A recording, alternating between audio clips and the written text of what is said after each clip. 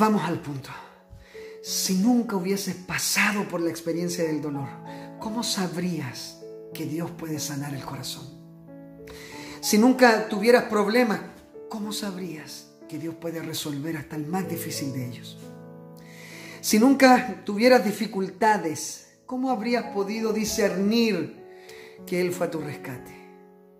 Si nunca hubieses pasado por la experiencia de la tristeza, ¿cómo sabrías que Él consuela el corazón roto en mil pedazos?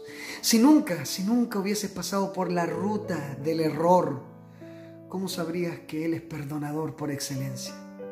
Si lo supieras todo, ¿cómo sabrías cuando Él te respondió? Y sabes que también me pregunto si, si nunca hubieses pasado por la vivencia del sufrimiento, ¿cómo sabrías por lo que Él pasó por ti? Y si Él te diera todas las cosas que tú le pides, ¿cómo valorarías aquellas que ya tienes? Si Él no te corrigiera, ¿cómo sabrías que te ama? Y finalmente, si tuvieras todo el poder que tanto anhelas, ¿para qué necesitarías a Dios? ¿Sabes qué?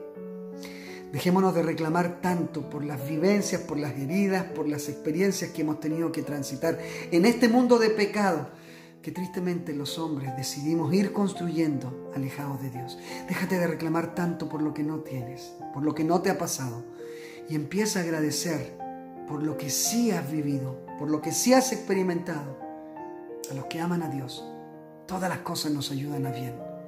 El Señor está contigo está construyéndote. Recuerda, está forjando en ti un carácter diferente.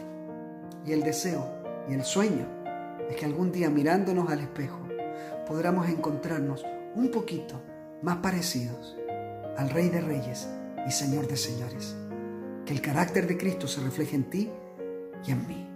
Esto fue la tuerca para pensar y para compartir. Que Dios te bendiga, que Dios te guarde. Chao, chao.